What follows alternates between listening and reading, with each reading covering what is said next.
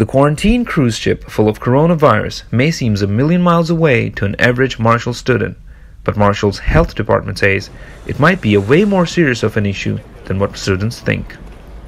They're not really aware of how you get this this virus, and it can be very serious. People do die from the flu.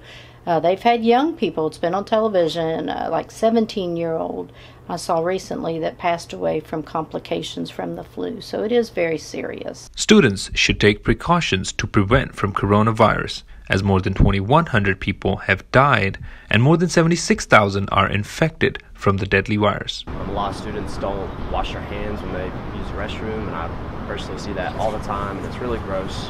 Um, so just just make sure you clean up after yourself drink often water. It's just not too much. Just few few like just a few cup of cup of water, and also wash their wash off my hands and get some wet as like a steam diffuser like this. We're eating good and we're sleeping good and we're um, getting our flu vaccination. We're washing our hands.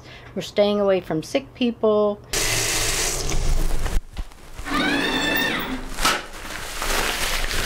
Students remain concerned about the increase in the number of victims from the deadly coronavirus, but all they can do is to take precautions to stay safe and healthy. Fareed, MU Report.